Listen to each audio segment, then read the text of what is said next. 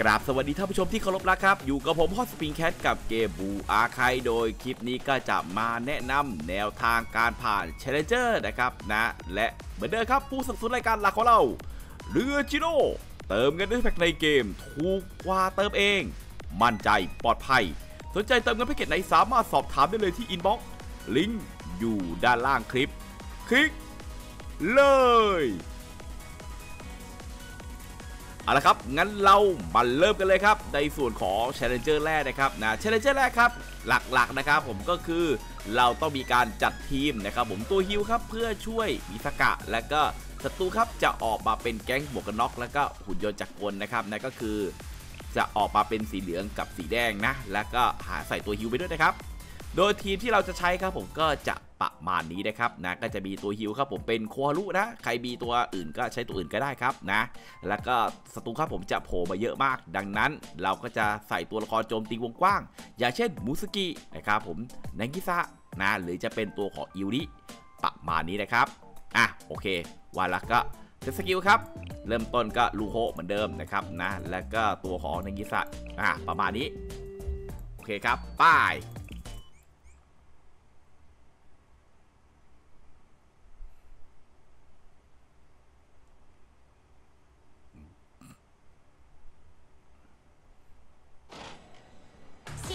次行こ อ่ะโอเคนะครับ うよいしょっと楽しんでいこうありがとうお客様のお見送りも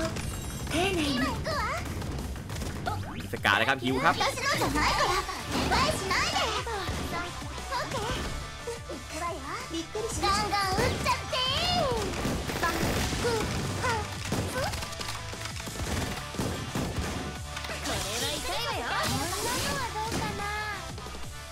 興味深い結果ですね。トリニティの砲撃術は優秀ですから。覚悟しろ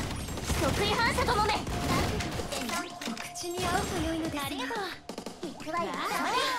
っくりしました楽しんでいこう。サンキュー。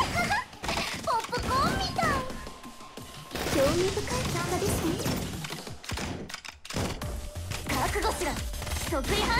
よく見てなさい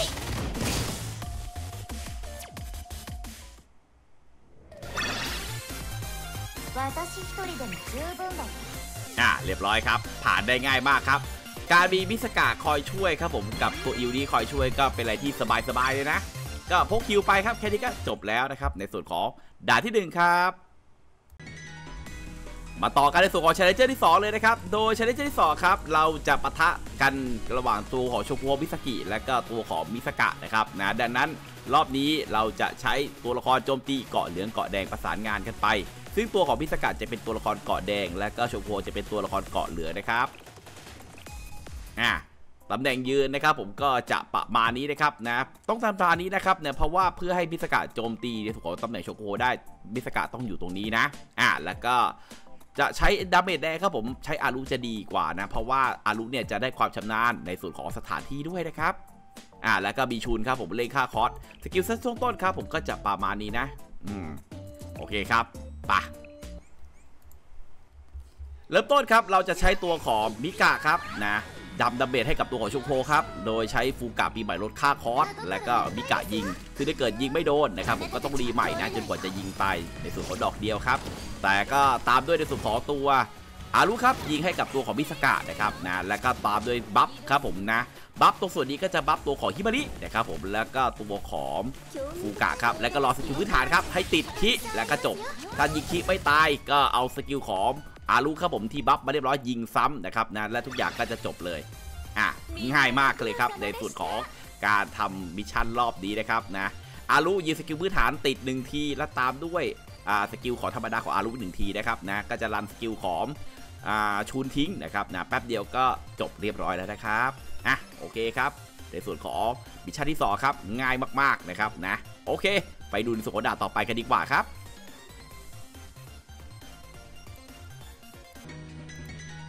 แล้วก็มาเริ่มเป็นส่วนของ Challenger ที่3นะครับ โดย Challenger ที่3เนี่ยเราจะเจอศัตรูนะครับผมที่ค่อนข้างจะถือว่าอึดเอาเรื่องเลยนะก็พก damage เยอะๆไปเลยครับ ก็จะเจอในส่วนของหุ่นนะครับนะกาดตัวใหญ่เลยนะแล้วก็หุ่นถือโล่ครับ อันนี้ก็ถือว่าเป็นตัวน่ารำคาญนะแล้วก็จะมีในส่วนของหุ่น AR LR เห็นไหมครับผมนะออกมาโจมตีทั้งซ้ายทั้งขวา แต่รอบนี้ครับผมเราจะมีผู้ช่วยครับผมก็คือตัวของมิซากะและก็โชคุโฮมาช่วยด้วยนะ ซึ่งแน่นอนครับผมทีมที่ผมจะใช้นะครับผมก็ประมาณนี้ครับนะ ก็จะมีตัวอิโอรินะครับมิกะ แล้วก็คาซุสะครับเรียกว่าfull damage เลยก็ว่าได้ครับ ตัวฮิวพกโคฮารุมานะครับนะแล้วก็ buff ครับผมก็จะเป็นตัวฟูกะกับฮิมาริครับ skill นะครับผมเริ่มต้นก็จะประมาณนี้นะครับนะก็พยายามใช้ตัวของฟูกะนะครับผมนะอ่า run ในส่วนของตัวมิกะครับอืมแค่นี้นะก็เน้น damage หนักๆเข้าไว้ครับ ใครไม่มีคาสุสะก็ใช้ยุสึนะครับผมก็ได้นะ หรือจะเป็นโมโมอิกับมิโดริอันนี้ก็ได้เหมือนกันยังไงก็พยายามรันดาเมจที่ตัวของมิกะเป็นหลักครับ 楽勝だったわね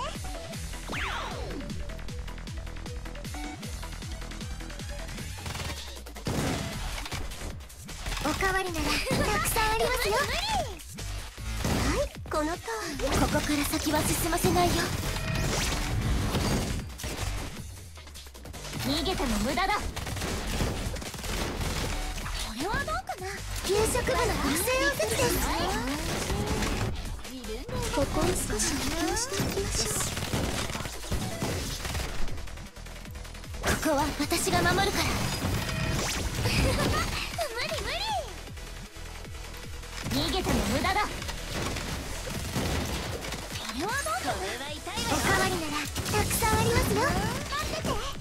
興味深い結果ですねここは私がうわ何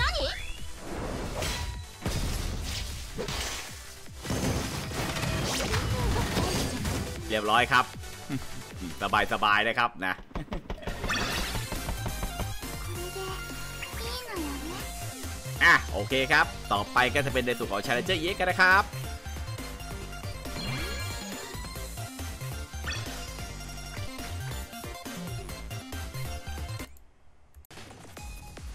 นวทางการผ่าน Challenger EX ครับอย่างแรกเลยคือเราต้องพก healer นะครับผมมาด้วยนะ และเราต้องรอดูจังหวะครับผมในส่วนของจังหวะ mini bot ที่มันวิ่งอยู่ในฉากวนๆไปเรื่อยๆนะครับนะและเราจะใช้ heal ครับผมทำการ heal หุ่นไล่กานะครับผมที่อยู่ด้านซ้ายนะครับผมแล้วก็พอทำการ heal เสร็จปุ๊บเนี่ยตัวศัตรูครับผมนะที่อยู่ใกล้ mini bot ครับผมจะติด stun นะครับนะดังนั้นเนี่ยสำคัญครับผมก็คือการกะจังหวะนะครับผมในส่วนของการ heal ให้เหมาะสมนะ อ่าโอเคครับซึ่งตัว heal ที่ผมใช้ครับผมผมใช้น้องโคโคนะนะ เพราะว่าน้องแกมีส่วนช่วยในเรื่องของการลดค่า cost ครับ แต่ถ้าเกิดใครไม่มี ก็สามารถใช้ตัวของเซรินะหรือควาลุก็ได้เช่นเดียวกันนะ แล้วก็ใช้เป็นมิกะอิโอริแล้วก็มากินะครับนะเอามาลดเกราะให้เรียบร้อย set skill ครับผมก็จะประมาณนี้นะครับ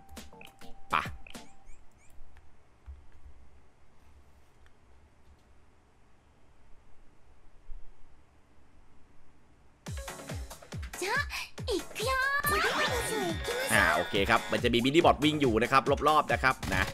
เนี่ยประมาณนี้นะเราก็ลดค่าคอสมิกะก่อน 給 ครับ 食部の特製おせちですよ อ่ะแล้วก็ดูนะครับนี่มันจะวิ่งวิ่งมานะครับนี่มันจะเบิ่มแล้วนะประมาณนี้นะครับ นี่แล้วก็ฮิวครับ 次もこの調子で อ่าแล้วก็ลดค่าคอร์สให้กับมิกานะครับ こ นะ のと แล้วก็ยิงเลยครับ あなたたちは通れないよ逃げても無駄だ เหมือนเดิมนะครับนะ เราจะลดค่าคอสครับ รอเรียบร้อยเลงเข้าไว้นะครับนะรอบินดีบอดวิ่งไปก่อนนะครับนะนะวิ่งไปเรื่อยๆครับ รอดูจังหวะนะครับตัวสวยดีนะ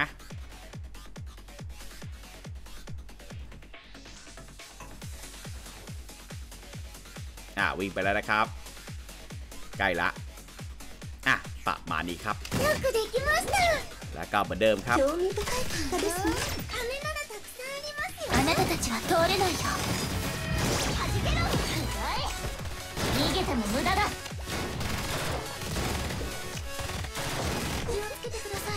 มาละมาละอีกรอบนึงนะครับ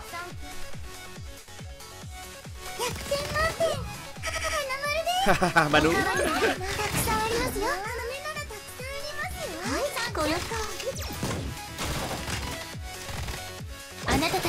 れないよこれでとどめだนะไกลวนครบอีกรอบแล้วนะครับนะ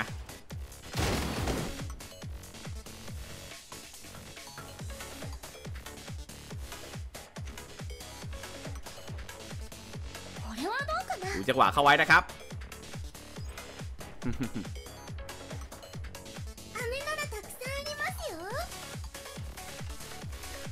よくできましたびっくりしましたおかわりならたくさんありますよ興味深いですねここは私が守るから逃げても無駄だ弾けろ